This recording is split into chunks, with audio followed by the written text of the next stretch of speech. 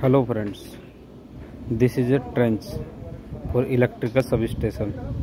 We we use this trench for electrical wire cable, cabling conducting. इसके अंदर से cable डालेंगे और केबल को यहाँ तक मेन इलेक्ट्रिकल सब स्टेशन तक पहुँचाएँगे।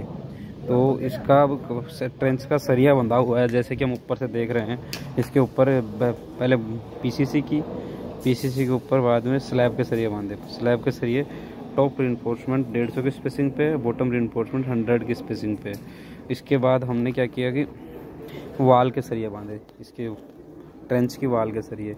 इसके ट्रेंच की वाल के सरिये हम देख रहे हैं कि ए, इनर साइड ऑफ़ सरिया इनर आउटर साइड के सरिया तो है हंड्रेड की स्पेसिंग पे और इनर साइड के सरिया है डेढ़ सौ की स्पेसिंग पे। तो ये सर ट्रेंच के सरिया रिइंफोर्समेंट कर रखा कैसे? देखिए मैनेजमेंट कैसे हो रहा है। तो ये है हमारी इलेक्ट्रिकल ट्रेंच तो ये तो ये आपको मैं दिखा देता हूँ कैसे काम करती है।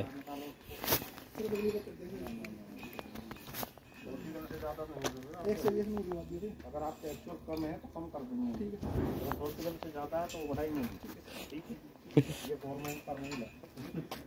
वो तो कर भी ये हो गई हमारी इलेक्ट्रिकल ट्रेंच अभी ये हम देख रहे हैं कि ट्रेंच के साइड्स लगा दिया गया है ताकि अब हम अब इसके बाद कंक्रीटिंग कर सके। तो ये ट्रेंच की साइड्स लग गई अब इसके बाद वाल की साइड लगाएँगे।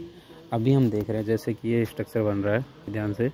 तो जैसे कि हमने कॉलम खड़े कर दिए हैं, कॉलम के ऊपर बीम बीम की बीम की बॉटम लगा दिए बीम के ऊपर को जैसे कि यहाँ पे दिख रहा है, बीम की बॉटम लगा दिए और बीम को जैसे इरेक्ट करने का एक तरीका होता है, सबसे पहले बीम को, बीम की कास्टिंग करने के लिए हमको सबसे पहले करना होगा बीम की बॉटम लगाना। बीम की बॉटम के बाद बीम के प्रोप्स लगाने पड़ेंगे, प्रोप्स के बाद बीम के सरिया बांधने पड़ेंगे जैसे कि आप देख रहे हो, पहले बीम के बॉटम और प्रोप्स लगा दिए।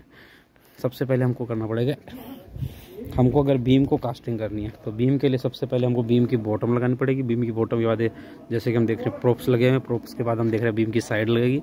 जैसे कि हम नेक्स्ट प्रोसेस में भी बीम की साइड के बाद हम देखो, जैसे कि हम देख पा रहे हैं, ठीक से, कि बीम की साइड के बाद हम देख रहे हैं बीम के अंदर सरिया बांधे जाते हैं। तो बीम की सरिया बंद दिए जाएँगे, उसके बाद बीम की कास्टिंग होती है। बीम की साइड दोनों साइड लगेंगी, उसके बाद बीम की कास्टिंग हो जाएगी। जय हिंद।